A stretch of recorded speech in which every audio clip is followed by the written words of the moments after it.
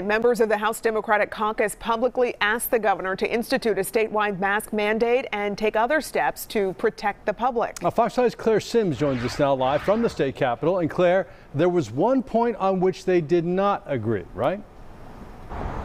Yeah, this group of lawmakers says they think that masks should be mandated in schools to help slow down the spread of COVID-19.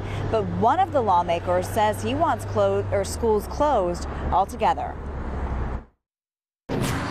We are asking you, Governor Kemp, to step up and do the right thing.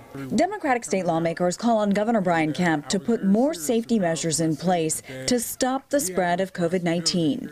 Members of the House Democratic Caucus's COVID 19 response team held a news conference inside the state capitol Wednesday. They want the governor to institute a statewide mask mandate, particularly for K 12 schools as well as colleges and universities.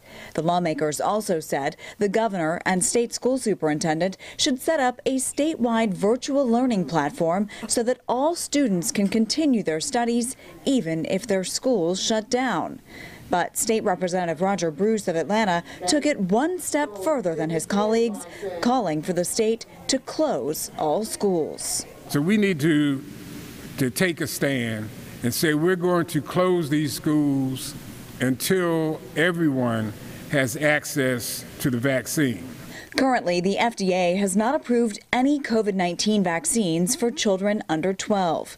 The governor's communications director, Cody Hall, says kids need to be in the classroom to learn. Well, it's clear as it has been throughout the pandemic that Georgia Democrats are just interested in playing pandemic politics. Their plan to combat the virus is to shut more businesses down, close schools, and force kids to wear masks.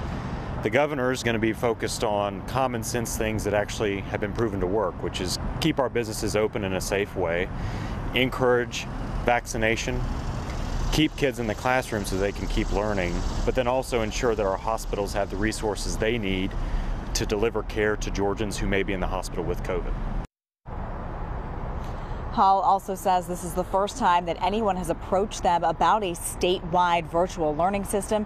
He says he sees that as being contrary to what school staff have been working towards for the last year and a half. We are live outside the state capitol. Claire Simms, Fox 5 News. Yeah, Claire, as you know, Georgia, one of the hot spots for this COVID surge. Thank you. That